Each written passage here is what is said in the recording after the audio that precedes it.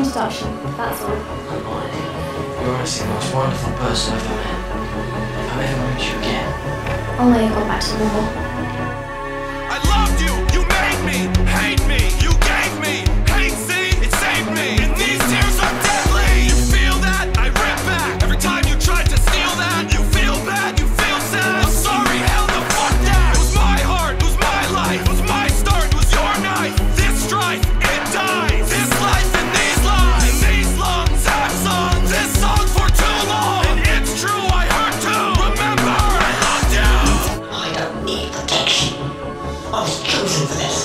you understand? I have to do this. It's gonna kill me. I was chosen. What?